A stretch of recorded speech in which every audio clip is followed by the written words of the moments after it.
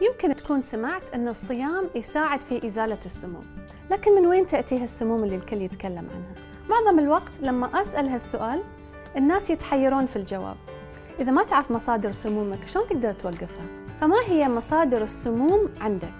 خلينا نشوف البيئة اللي حوالينك في التلوث ودخان السيارات في الخارج بس حتى داخل المنزل في المبيدات الحشرية ورائحة الصبغ بعض الأحيان وحتى المنظفات المنزلية. وفي بعض السموم في الاستخدامات الخاصة مثل العطورات والكريمات الغير طبيعية. حتى معجون الأسنان اللي فيه فلورايد يكون فيه نوع من السموم.